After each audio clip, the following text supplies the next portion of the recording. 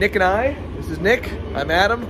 We're working on a small improvement here. Uh, we want to fix how we hold tools on our Festool vacuum. Let me show you the scenario. So we cheated. This is actually the after video, but if you can imagine, this box had a front, and when we would take the tool and we would try to put it in the box, you know, it would sit weird and funky like that.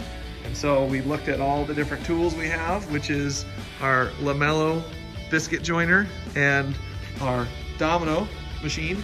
We said, okay, how wide do we need to make it? So then we cut out, actually, Nick, he's the one that cut this out and we cut it out so that the machine could sit in there safely. Nick, why don't you tell everybody why we don't want to just leave it on the bench? Uh, just because has a tendency to either slip or fall or a tripping hazard. Yes. So we just wanted to make it over and uh, put it away. Sweet. High five. Thanks, Nick.